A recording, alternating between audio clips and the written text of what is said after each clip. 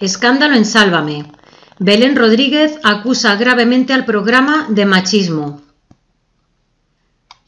Belén Rodríguez intervenía este lunes en Sálvame tras comer con María Teresa Campos.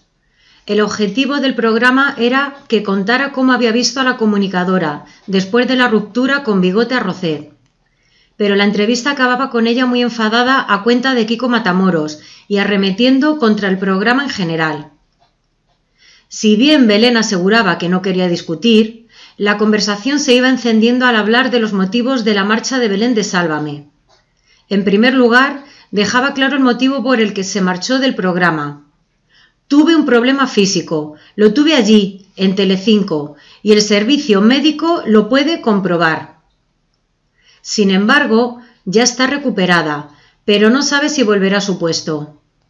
Dependerá de mí, de lo fuerte que me encuentre yo para enfrentarme a determinadas cosas, comentaba. Aún así, son varias las voces que apuntan a que es el fichaje de Antonio David Flores el que ha provocado su salida. Belén se niega a estar en el mismo espacio que él. Por supuesto que no quiero coincidir con él en un plató, son dos cosas independientes. Es más, está convencida de que en Sálvame se arrepentirán de contratarle.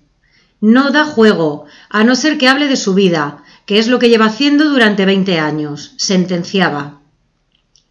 Pero el momento más tenso venía cuando acusaba al programa de machismo. Para ella, tanto Kiko Matamoros como otros colaboradores son machistas absolutos. Ante estas palabras, Carlota Corredera tomaba la palabra. Todos cometemos excesos, pero calificar a todos los hombres de machistas y de hacer aquelarres contra una mujer no es justo.